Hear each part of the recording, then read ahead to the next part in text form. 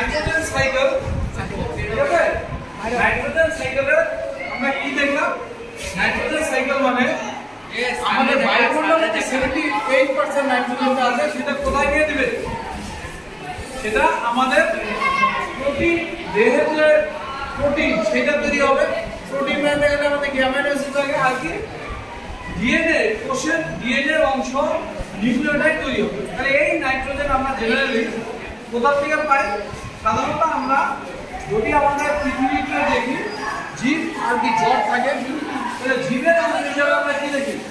যে বিভিন্ন গাছ, যেগুলো আমাদের আমরা যেমন সয়াবিন, বিন, সিম, এদের যে রাইজোবিন এদের মূলে এক ধরনের অর্বুদ বা লেগুমস থাকে, নোডুলস এদের মধ্যে রাইজোবিয়াম এক ধরনের ব্যাকটেরিয়া এই বায়ুমণ্ডলের নাইট্রোজেনকে ফার্স্ট এরা কিন্তু অ্যামোনিয়াতে কনভার্ট করে।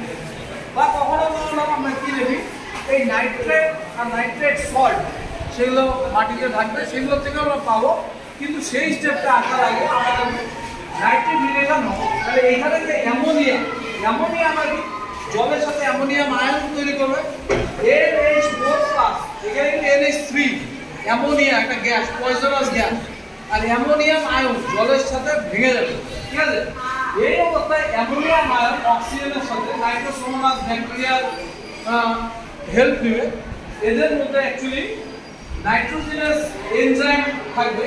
তার মাধ্যমে এরা কি? নাইট্রাইট NO2 তৈরি করবে। NO2 আবার অক্সিজেনের সাথে অক্সিডাইজ হয়ে কি করবে? NO3 nitrate.